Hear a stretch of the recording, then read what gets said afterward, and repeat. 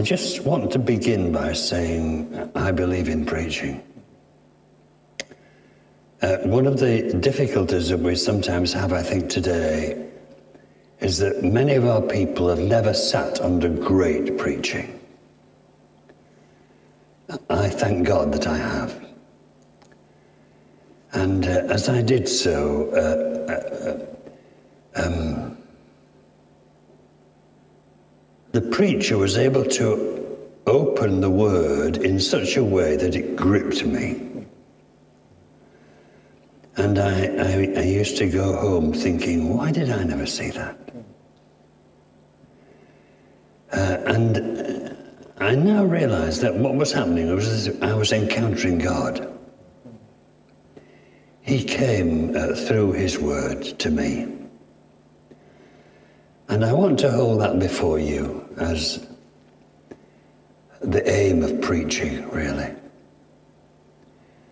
They used to say of, um, of uh, Karl Barth that when the bell rang for prayers, he used to run. Because he said that was where God's word was opened and uh, where God was to be found. I thank God for those occasions when I've been present, uh, when people have clearly encountered God through the preaching of the word um, through preachers whom I have heard and uh, loved and respected, and sometimes graciously through my own. Um, and if I might just share a word of testimony about that. Um, when people have encountered God through my preaching, I have been the most surprised person in the room. Um, and, uh, you know, I, I, so appreciated what David uh, said uh, this morning about the heart, and I'll speak something about that later. About the heart and about feeling. Um, my own testimony has been that uh, um, that dimension has been something of which I've been conscious under the ministry of others but, but rarely under my own ministry. And it's, I can't quite work it out really, but it's as though God um, takes that away from me when I serve as a channel. And I think that might be because I don't want, or he doesn't want me to take any credit for that. Uh, so, so I speak to you uh, just now as somebody who believes in preaching. Um, uh, God only had one son, and he made him a preacher. Uh, so, uh, those of you who are here who are preachers, I want to encourage you uh, those um, who are not preachers, I want to encourage you to consider it. If there are those online, wherever you are, and you've tuned in and you're thinking about this, I want to encourage you. Because I am convinced that this is uh, something that God uses to encounter people with his presence and power. I'm going to think uh, primarily about expository preaching. It's not the only kind of preaching, but it's the one uh, where I feel most at home. Um, uh, um, I acknowledge are other kinds of preaching, but we're thinking about expository preaching, and the reasons for that will become clear, I think, in a moment or two. Um, uh, the title uh, for this morning's session uh, springs from a quote of uh, Spurgeon. Uh, somebody once spoke to Spurgeon about defending the Bible, uh, to which he replied, Defend the Bible, I would rather defend a roaring lion. Um, by which he meant the Bible can really look after itself. It's strong enough to look after itself. Uh, and, and, and so what I want us to think, and just to keep that image in our mind, uh, and, and what we're trying to do with our preaching, particularly expository preaching, is open the cage door and let the lion out. Uh, so we want to set the lion free. And I'm convinced that if we, if we enable the lion to escape, as it were, um, uh, the word to, be, to live for people, the word will do its own work. Uh, it, it, God will use that uh, to uh, effect his purposes in the lives of his people. The problem is uh, getting the cage door open. So that's what I want us to think about now. How do we actually do this? Um, uh, the, uh, I borrow an image um, from um, um uh, former rector of All Souls Langham Place, uh, John Stott. John Stott. I, I borrow the image from him. He talks about bridge building. I want us to think about bridge building. Uh, you'll forgive me if I uh, move about. Uh, the cameraman will forgive me. Okay. Um, uh, let's, before we get on to bridge building, let's just say, uh, when it comes to the question of uh, what, what am I going to preach on, on Sunday, Methodist plans and all that business, you, you have the lectionary. Uh, some people sit very lightly to the lectionary, some people don't sit on it at all, some people follow it rig- rigorously. Uh, some plans, circuit plans, have the lectionary printed on. Uh, we in the circuit to which I now belong. On our plan, we have it printed at the bottom of the date, so the dates are all on there, and then the lectionary is printed at the bottom. You have to turn it sideways to read it. Um, so so that, that sometimes happens. I'm increasingly finding that churches kind of have their own preaching program.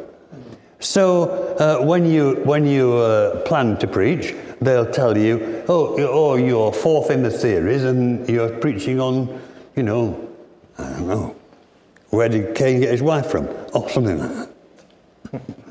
it's going to be quite a long sermon, that really. or about a very short one. um, so, so, so they'll give you a subject, or, or, or you'll, you'll get your own. Um, I learned uh, early on uh, never to lose an idea. So I have something called Sermons on the Stocks. And uh, Dr. Sangster used to do this. He had a little book uh, which he caught, took in his pocket. He, he called it Sermons on the Stocks. And uh, he, he got a good idea and he jotted it on a page. And uh, uh Dr. Sangster used to say, as only Dr. Sangster could, uh, when he was wondering what to preach on, I would open the book and I would read a page at a time. And um, no, no, no, no. Then he'd turn the page and, and something would shout out, Preach me! and he knew it. well, it's never quite happened to me like that, actually. but, but, but that's the kind of thing. So you've got one or two things on the go, maybe four or five on the go at the same time, and you, uh, you, you kind of refine them as you go along. And now I, I, I'll just come back, I'll just deal with this now. I find that if I do that, and if I, if I, it, you know, the, the, some, the circuit where I am, they, get, they tell me what I'm preaching on in about, you know, two months down the line, next plan. If I, if I know what's coming up, I can have a little page for that. And, and I can keep reading the scriptures, and they, they kind of germinate. And what I find is that I don't have to scratch around looking for illustrations. They kind of find me. If I've got this in my head, it kind of, they kind of pop up. So, so let, let's deal with that. So that, that's, that's where do I get my ideas from and how do I have a plan or a routine or what? Now let's talk about bridges. There are two bridges involved here. The first bridge is a really important bridge. Well, they're both important. The first bridge is the bridge between you as a preacher and this book.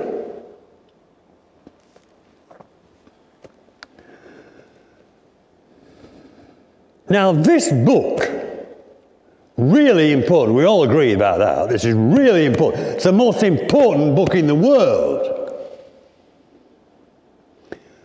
But we need to acknowledge that this book was written by people who lived in a different world culture to ours.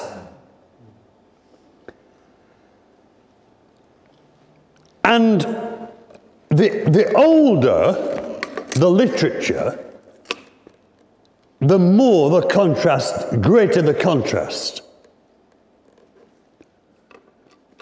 You think about, you know, you think about some of the things that we have nowadays that we take for granted. Absolutely unbelievable for these people.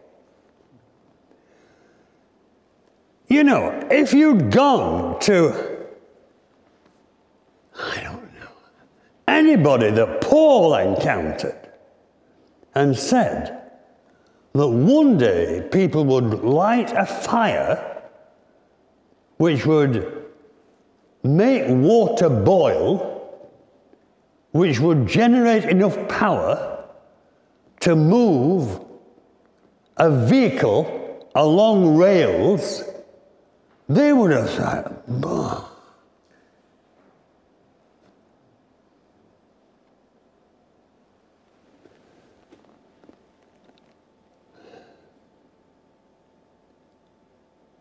It was inconceivable that they ever even imagined people going to the moon.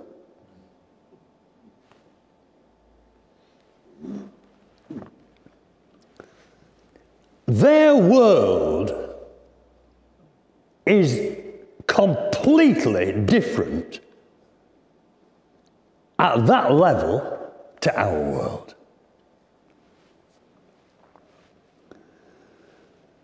I'm going to say this now, and you might not like it, but if you don't, you either go now or don't invite me again.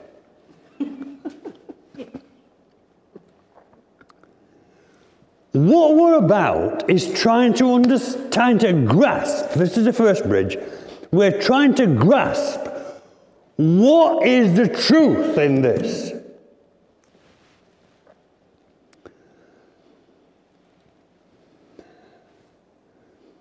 So I want to say this is the this is the this is the bit where you like it or you don't. If we're about truth,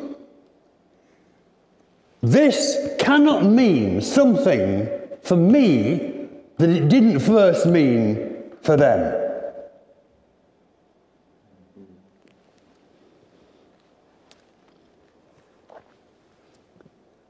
I want to know what was in the mind and heart of the person who wrote it. And I want to know what is in the mind and heart of the people who first read it. What did it mean to them? Because that's what it means. It doesn't mean what I can make it mean. Do you understand that? Now that means I cannot take a verse of scripture or a book or a parable or a story or a chapter and lift it out of that context and make it something else. Actually, that's what the cult, the sects do. They take it out of context. It was, I think, um, Campbell Morgan who used to say, a text without a context is a pretext. So it needs, I, I need to understand what the, this means for the person who wrote it and the person who first read it. Now, how do I do that? That is, that is, that is the first bridge. How do I do that? Well, I do that by trying to understand what is the culture and the thought forms of their society. And, um, and there's, there's lots available, uh, lots of people who've done a lot of hard work to enable me to, to get that. But it does mean that I need to do some hard work to find that out. Hard work, which is easier nowadays than it used to be because we've got Google. Um, which I, I, I'd rather have a book, actually. I'm a book person. I think I want to say something else about that before we lose it, because these things keep popping up in my head. The danger is that you go to the book and the book writes your sermon. You're looking for those people to help you, not to prop you up. So, my advice would be you need to get your structure first. You need to get your passage of scripture. You need to read that through. And you need to say, what is God saying to me now through this? Jot the points down. They might not be in the right order, and there might be too many of them, but jot them down. And then you go to the book so that they can help you fill in the, the missing bits. But you get the structure first.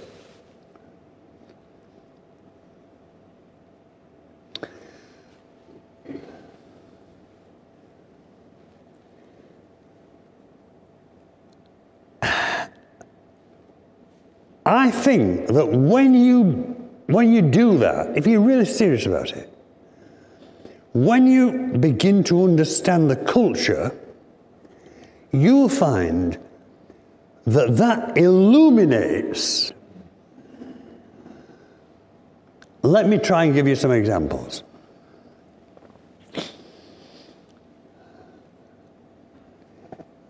In 2 Corinthians 2, I think it is, you can check it out. You've got Paul using a phrase. He talks about the triumphal procession. You know, therefore he leads us in a triumphal procession. Is it some 2 Corinthians 2 something, 16 around about there? Is it? Somebody. T- 14. 14. Two verses out. Can you, just read it for us, David? Yeah. But thanks be to God who always leads us as captives in Christ's triumphal procession. Right, that's it. spread Go on. the aroma Ah, yeah. of the knowledge of. Right. Right. So I want to know what was in Paul's mind when he wrote that. What he is doing is taking an image. He's using an illustration. He's taken an image of something which would, which would be familiar to all those who first read it. And he's saying that this is a picture of what God's done for us in Christ. So I want to know what was a triumphal procession like? Now I know now and I could tell you. But I don't think I will because you, you need to go and do your own homework. But I, I can tell you that it does involve people carrying things which were smoking.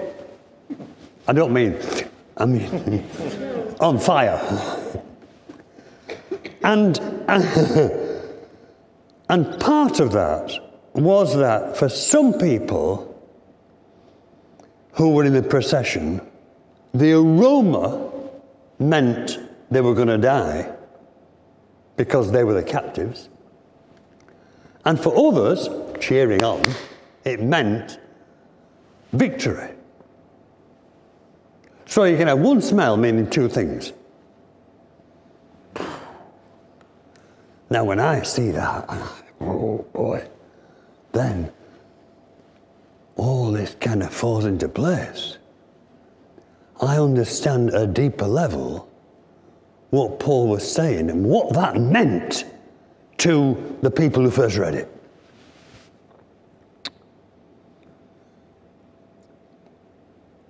What I then have to do as a preacher is to take that and relate it to the people. That's the second bridge. We'll come to that in a minute. Let me give you another example. Uh, letter to the seventh church, at the beginning of Revelation, letter to Laodicea. All this about lukewarm and it makes you sick and all that. You're all familiar with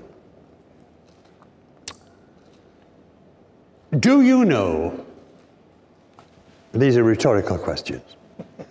Do you know where Laodicea is? Yes. Do you know anything about the government in Laodicea? Do you know anything about the water supply? Do you know anything about disease? Do you know anything about the water supply getting warm and bacteria and all that business.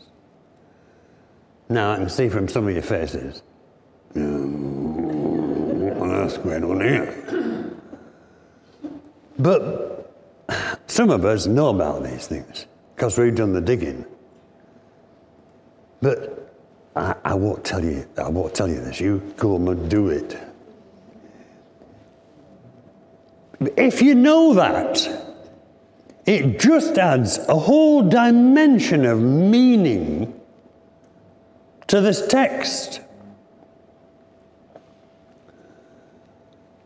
So I'm encouraging you to, to, to undertake this, this kind of research into, into what the text means. Um, I think before we just leave this, I want to say, I want to say something about, about, you know, every word is important. We do believe in the inspiration of Scripture, I believe that. And I believe every word. So, some, I mean, great words like adoption and, you know, ransom and oh, oh, you know, these are really powerful words. What justify? What does that mean? You know? We use these just they trip off the tongue because we're familiar with the language. But to get to get inside these words is, is really important. And that does also, I mean, if we do it, does anybody, you know, rhetorical question, does anybody here know anything about the adoption system in the Roman Empire? Well, How, how can I understand what Paul meant by ad- adoption if I don't understand that?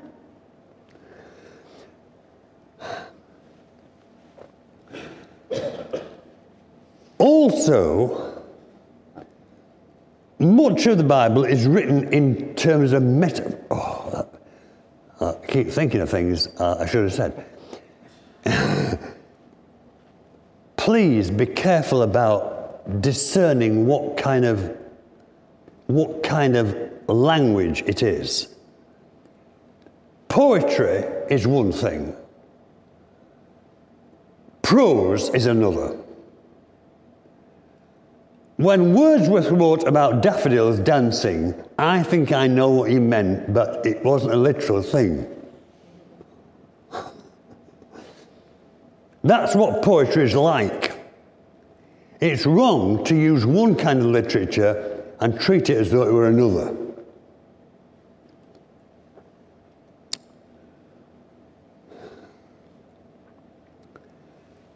Much of the Bible is written in, in, in terms of metaphor or parable or poetry understand it for what it is and, and get to grips with the truth that this is designed to convey.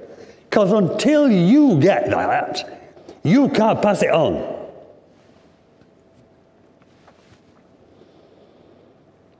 I'm looking at time, and I want us to allow time for comment or question at the end.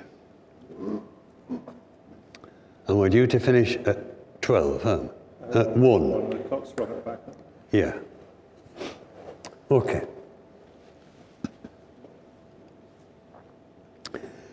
Um, so, so that's the first bridge. I, as the preacher, am seeking to understand the culture and thought forms of, of the, the, the, the era and people involved in the, in, the, in the writing of the book in order to come to an understanding, a clear understanding of what the, the text actually means. Because it can't mean for me what it didn't mean for them. Right, uh, I've got that. Now, the second bridge is between me as a preacher and them as the hearer. Uh, there's a man on the phone down here under the table. Has he gone? Has he gone? So I apologise. Oh, that's fine. uh, so the second bridge between you as a preacher and, and the hearer. The preacher's challenge is how do I how do I distill all this material into manageable chunks which are easily digested by the people who are going to hear it. And the golden rule is do not aim to take everything that you have learnt there from the first bridge over the second bridge. Because, well, for a whole variety of reasons, because the sermon will become a lecture, which is terrible, and because the people be, uh, get fed up.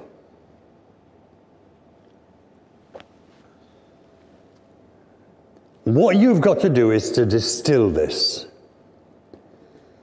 And the, I just speak about myself. The way I do that is to write, I don't always do this now because I've been doing it a long time. But what's really important is to write right at the top of the page, use A4, and on top of the page, the first question is, what is this really about? And sometimes what it can appear to be about is not what it really about. Because the, the language used the, uh, to wrap the message, actually, it, the language is not the message. We need to get inside that.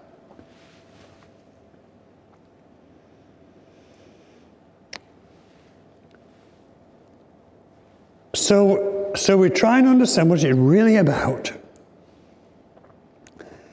And then, and actually, I didn't mind just say this.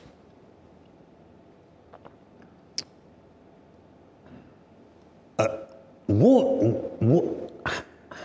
one technique in public speaking and preaching for some people is to say, is it about this? No. Is it about this? No. Oh, it's about this. Your three points. it appears to be about this, but it isn't. No, uh, this. No, it's this. Um,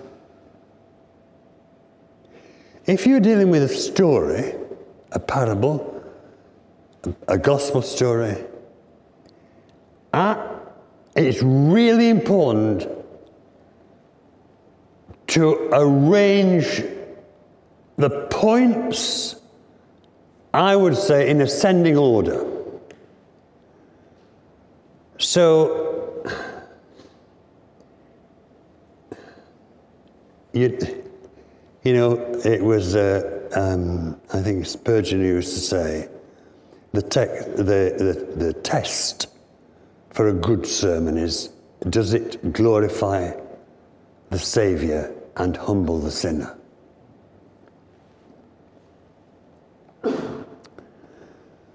So, so you need to you need to humble the sinner more and glorify the Saviour more the further you get into the message.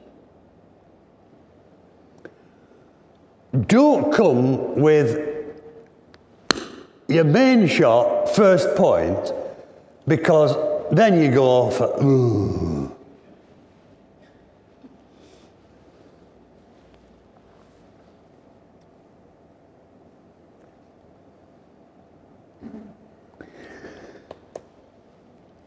So if we're trying to, if we're trying to uh, get the message across the second bridge to people, and if the first bridge involved understanding that culture, then the second bridge must understand must involve understanding that culture. Now, I guess that most of you um, are broadly speaking in the same culture that of the people that you will be addressing.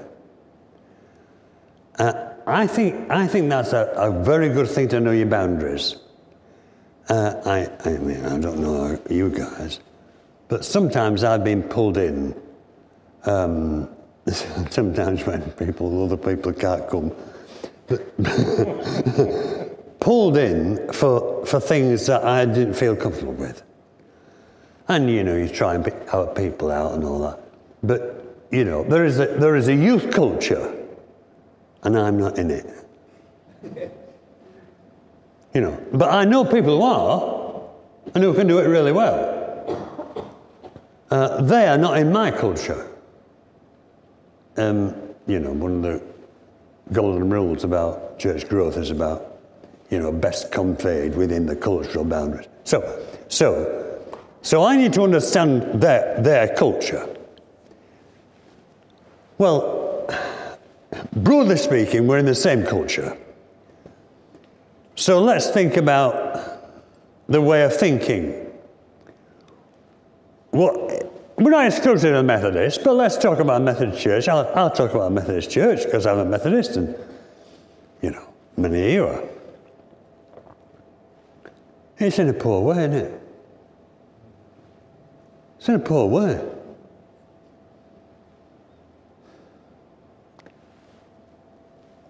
In 1951, how long ago is that? How long ago is that? 1951. 73 years. 73 years. In 1951, this is for you as well. in 1951,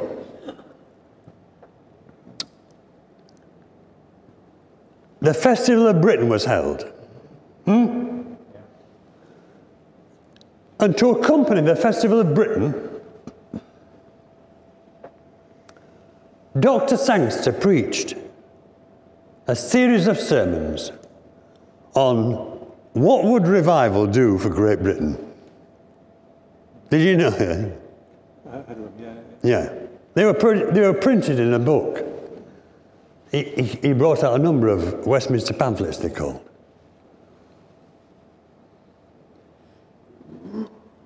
When he, he kind of summed it up, this is at Westminster Central Hall. When he summed it up, um, he informed the press. The front page of the dailies the following morning was, this in the, in the wake of the Festival of Britain, what revival would do for Great Britain. In the daily paper.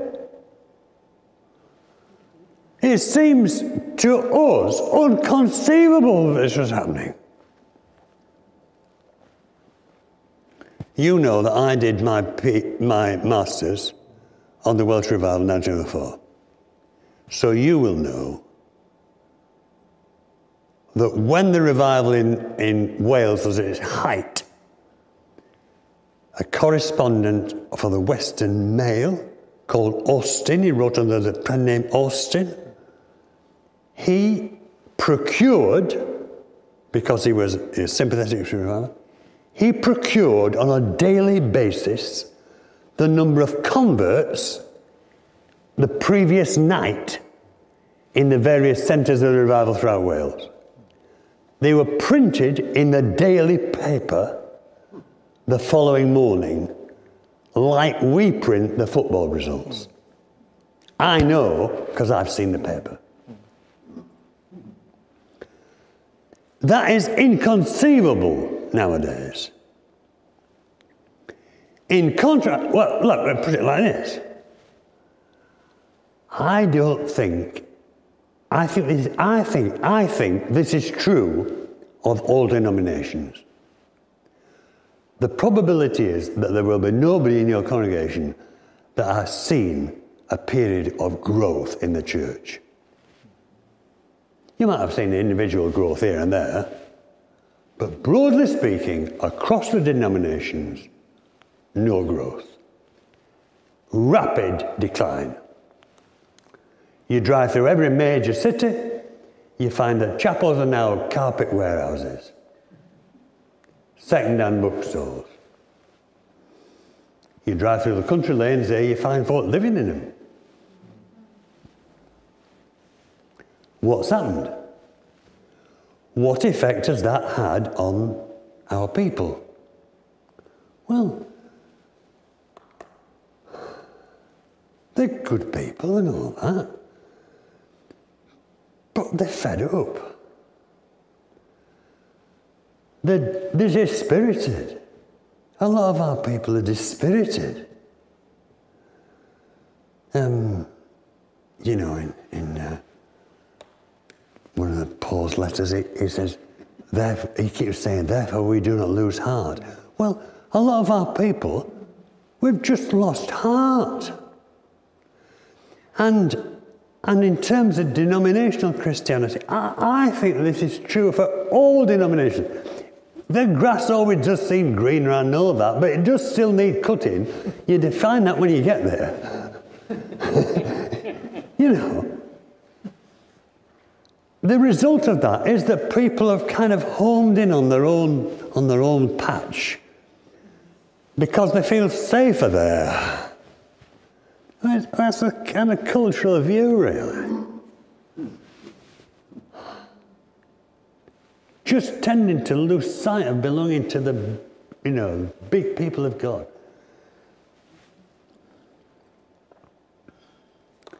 And in terms of, you know, the other thing is, I think that if you sat me in a congregation um, and I just stood up, uh, and, and somebody just stood up to preach, and I didn't know him, her, I think I could tell within the first 10 minutes whether they'd ever been in pastoral ministry.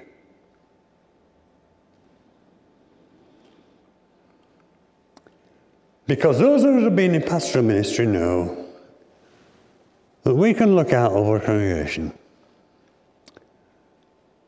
and we know what they don't know about each other. We know, I know. I mean, a, a great preacher once said to me, Paul, there's a breaking heart in every pew. But we ain't got pews anymore, but we've still got breaking hearts. And, you know, over here, Mrs. Brown, her son's dying of cancer. Over here, Jessie, her husband's just left her for another woman. Over here, Arthur has just been made redundant. Over here, there's a farmer. He, he, he, he's, he's, he's, he's fed up, he's trying to make a living, he's on his own most of the time, he's, he, he's a mental wreck.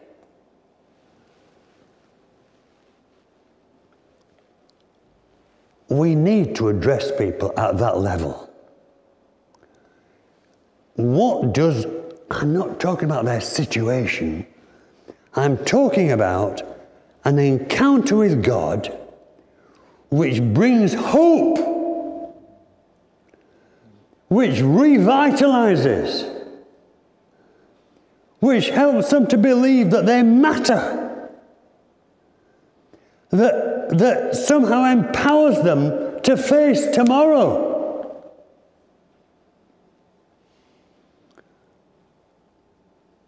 that, that gives them a bit of confidence that they and their loved ones and their situation is held in hands that are bigger than theirs.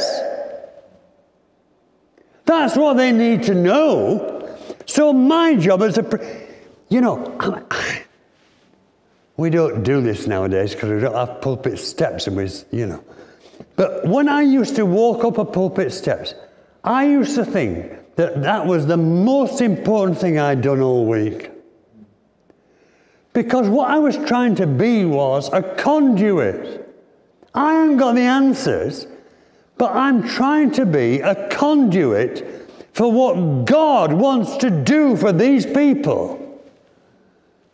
And, and the way He does it through a poor bloke like me is to try and help them to understand what this book is really about.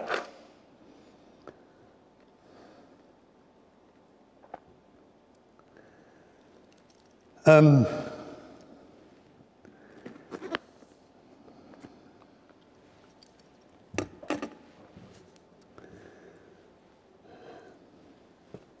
so let me say two more things. Is in, in as they will say from the tele- television program tonight, not in any, in any particular order.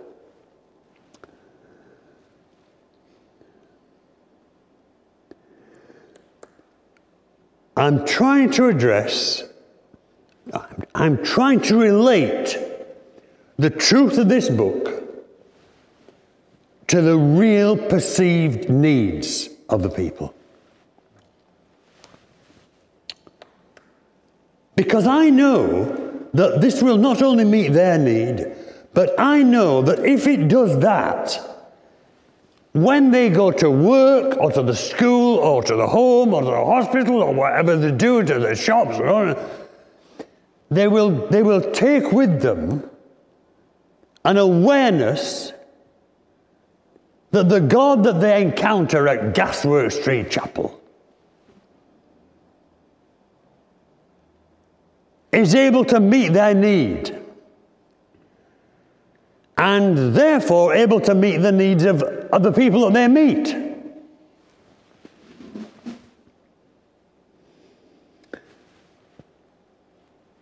Now,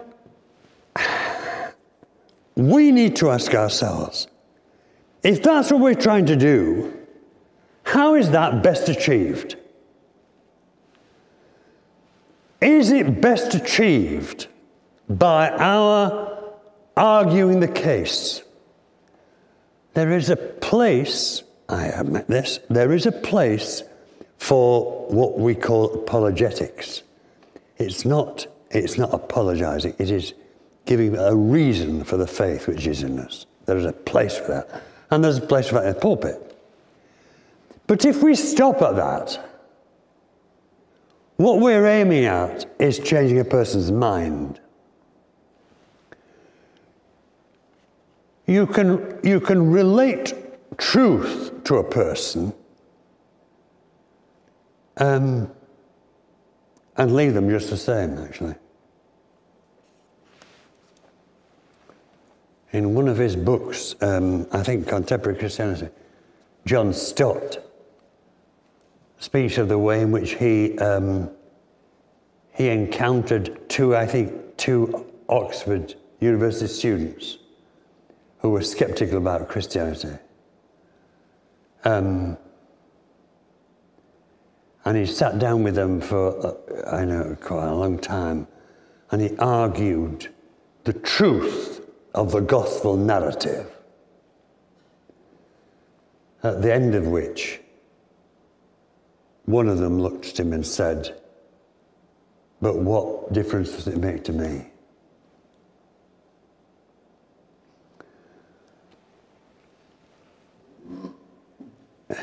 So we need to realize that if we're going to, if that truth is going to impact a person's life, it needs to be a, a deeper level than the intellect. Um, it's about the heart. We've had it this morning. Um,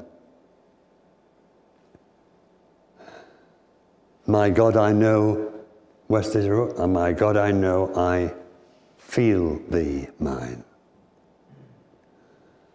Uh, they said of the early Methodists, including Wesley, what was distinctive was that ours was a religion of the heart.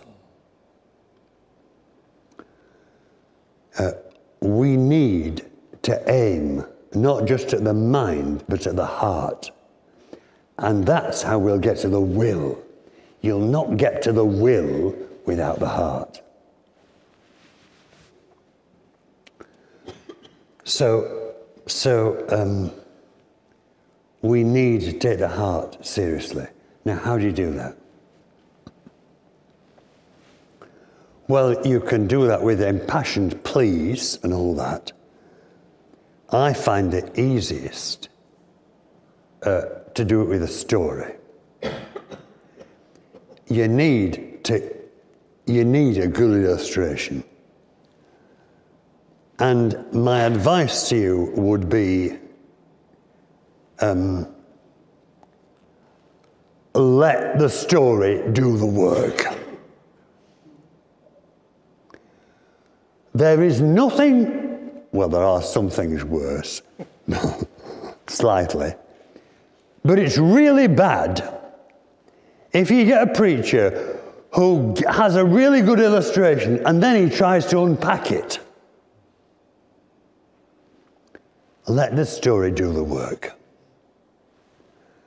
Um, and finish. Finish. So, so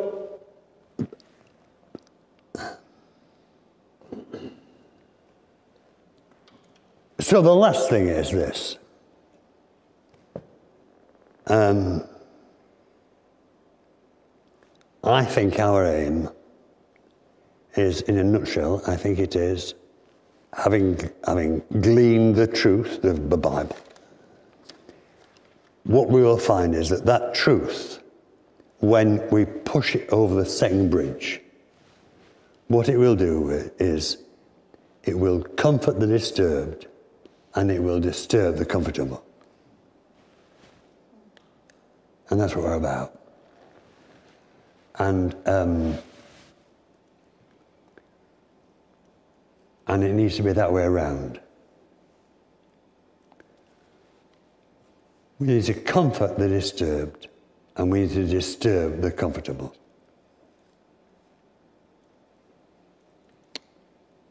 And all the while, what we keep paramount is that question what is this really about?